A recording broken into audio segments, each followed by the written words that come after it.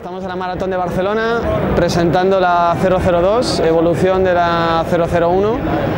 eh, que aunque aparentemente es la misma zapatilla, con colores y demás, tiene muchos más cambios de lo que, de lo que a primera vista pudiera parecer.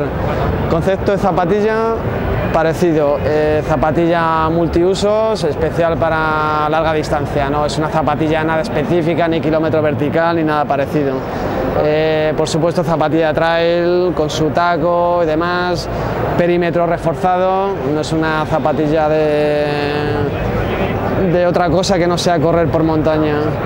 Eh, diferencias, bueno, el concepto es eso, zapatilla a larga distancia, drop clásico 12 milímetros, mm, en ese sentido no se ha innovado ni se ha buscado más que una zapatilla eh, de montaña de verdad.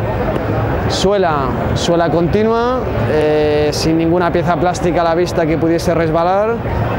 Eh, novedad, Ice Lock. Esto es un material que aunque fue en principio desarrollado para sustituir, entre comillas, a los crampones en hielo, es fibra, de vidrio realmente, eh, también ha demostrado un mejor agarre en nieve, en piedra húmeda, que es el talón de Aquiles de prácticamente todas las zapatillas de montaña, y además es más durable en los puntos de subida y de bajada, en el perímetro que es lo que más se utiliza. Goma caucho de bastante buena duración y como ya innovó en su día Raylight, se puede resolar. Puedes comprar la suela suelta y que te lo haga algún resolador de pies de gato, puede ser, te lo puede hacer Raylight también. Pieza de estabilidad que además sirve para enganchar una pequeña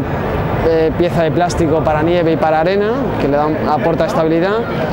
los ganchitos, los ojales para llevar eh, polainas, para que no se te meta el barro, la nieve y demás, en un nuevo material, este material se llama Ipalón,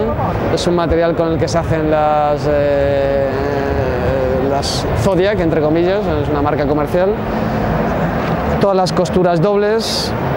cero problemas ya de que se pueda descoser nada, perímetro bien reforzado, materiales mucho más resistentes, todo doble costura, mucho más serio,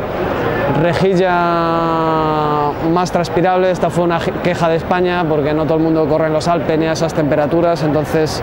eh, mucho más abierta y con menos, menos almohadillado, digamos, para que sea más transpirable, más flexible, un poquito más reactiva.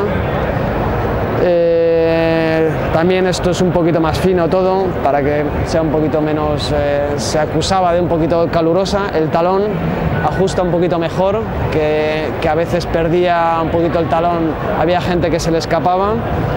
Luego la clásica, bueno, clásica novedad de, de que aunque era de la 001, mantenemos el sistema que podemos cambiar la amortiguación. Hay tres tipos,